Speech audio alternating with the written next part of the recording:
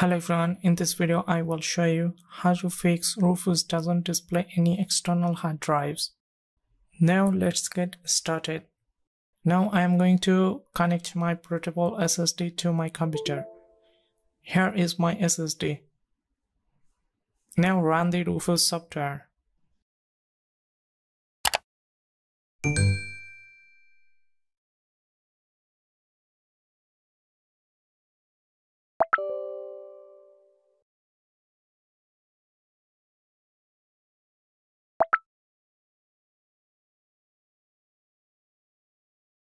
There is no such device showing, but I have already connected portable SSD. Now the tricky part is, all we have to do is press the Alt plus F key at the same time.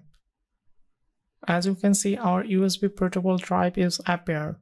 Even you also click on the Show Advanced Drive Properties and check more on the list USB hard drives.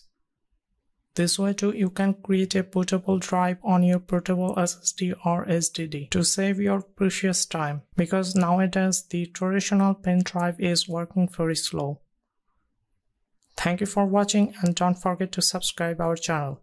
See you at the next one. Goodbye.